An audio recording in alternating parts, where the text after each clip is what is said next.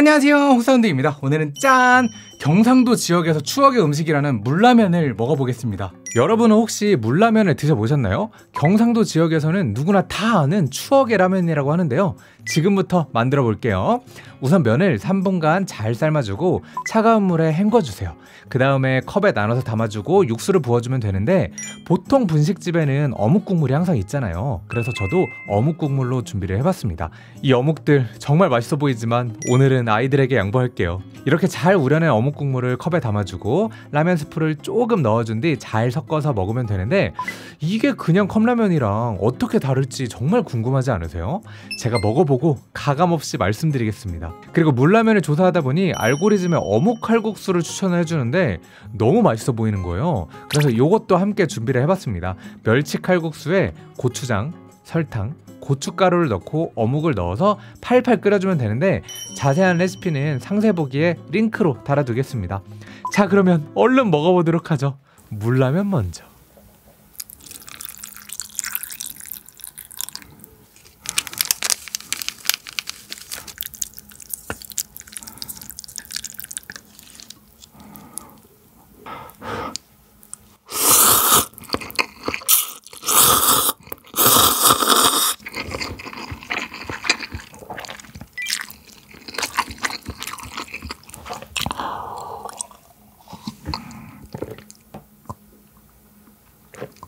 뭐야 왜 이렇게 맛있어? 여러분 이거 제가 컵라면이랑 비슷하지 않을까 했는데 오 맛있는데요?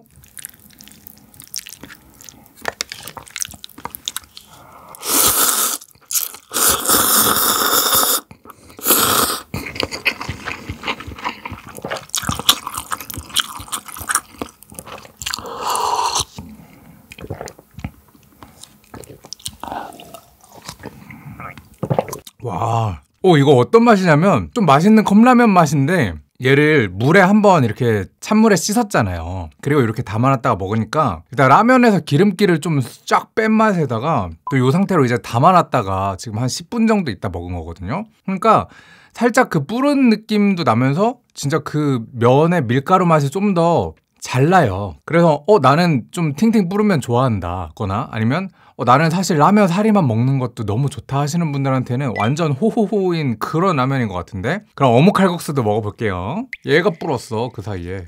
거의 약간 볶음면이 돼버렸는데요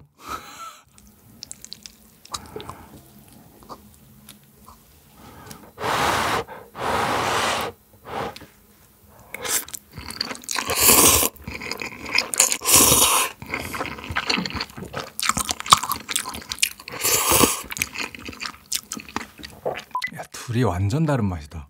얘는 지금 어떤 맛이냐면 지금 살짝 불어가지고 장칼국수 볶음면 같은 약간 그런 느낌? 되게 뭔가 꾸덕하고 찐득하고 진한 그 고추장과 매콤한 맛들이 어우러져 있는데 맛있다.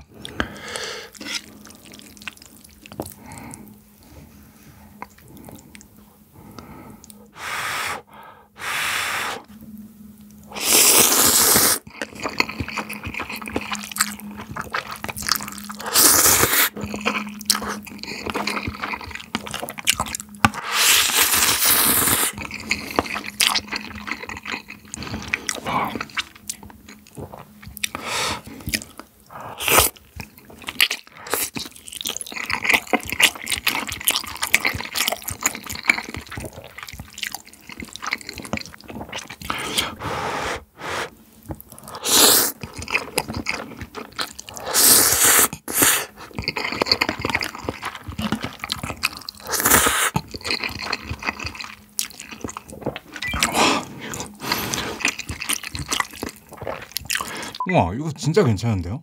진짜 그 매운 어묵 있잖아요. 그 매운 어묵이랑 같이 칼국수를 먹는 느낌이에요.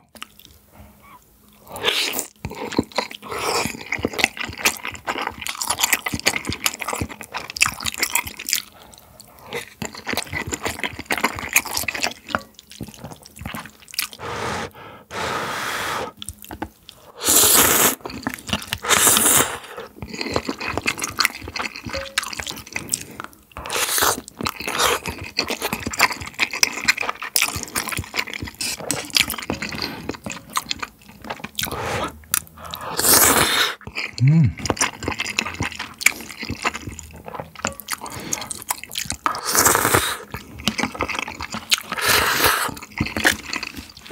아니 매운 어묵 먹고 싶을 때 이렇게 먹으면 될 것 같아요. 얘는 진짜 자극에 자극에 자극에 진짜 막 그런 맛이거든요. 라면 스프는 좀 부족하듯이 넣는 게 맛있습니다.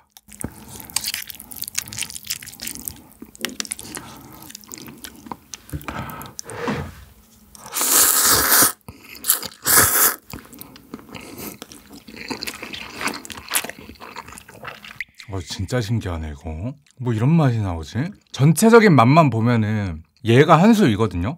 훨씬 더 다채로운 맛에 더 강렬하고 막 자극적인 맛인데 이 밍밍한 이게 뭐야? 왜 이게 맛있게 느껴지지? 너무 신기하네.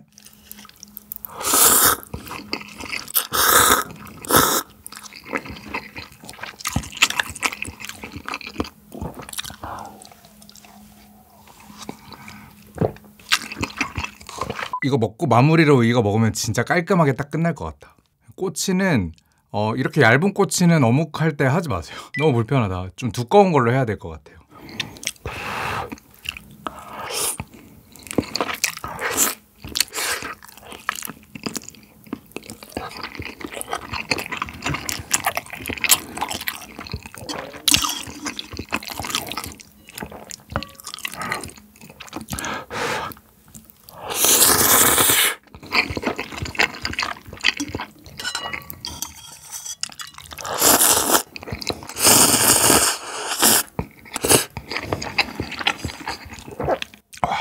음, 먹다 보니까 그 시장 떡볶이, 고추장 떡볶이 맛이랑 진짜 비슷하네. 하긴 멸치 육수에 고추장 넣고 설탕 넣고 이러니까 어 그러네. 맛있습니다. 그럼 마무리 물라면.